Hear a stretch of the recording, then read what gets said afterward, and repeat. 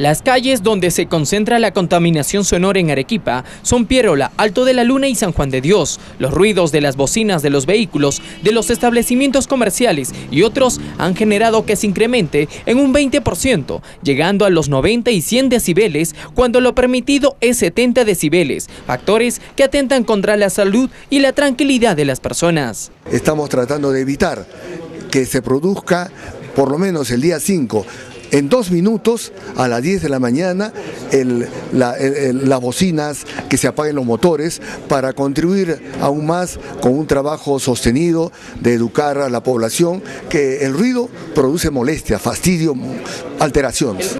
Según el gerente de transportes, Marcos Hinojosa Requena, señaló que existe el artículo 98 del Decreto Supremo 016 del año 2009, donde se impone una multa al conductor como infractor de tan solo el 4% de una UIT, pero según el funcionario es considerado muy bajo para la debida falta infractora.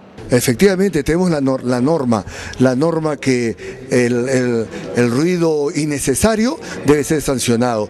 Lamentablemente, este, este ruido innecesario comprende 4% de la unidad impositiva tributaria y con eso no se avanza. Por eso es que este 5 a las 10 de la mañana es un primer paso para educar, para respetarnos y para sensibilizar a todos y la colaboración de, de los periodistas para que nos ayuden en eso. Debido a este gran problema, se pretende revisar la norma sancionadora. Mientras tanto, por parte de la Gerencia de Transportes, iniciarán con operativos en diferentes puntos de la ciudad, no solo a los conductores, sino que también a los dueños de las discotecas, ya que se ha comprobado que su ruido llega hasta los 130 decibeles nosotros vamos a tener que hacer más operativos a fin de normar y controlar esta, este exceso de ruido que produce nuestro parque automotor, por ejemplo. Pero también hay que ver las discotecas.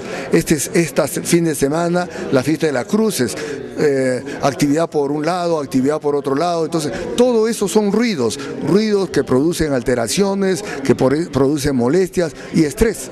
Entonces, este es un primer paso que está haciendo la municipalidad conjuntamente con entidades privadas. Es por ello que este miércoles 5 de junio, desde las 10 de la mañana, se llevará a cabo la campaña No al ruido por dos minutos, con el fin de concientizar a los transportistas sobre la contaminación sonora.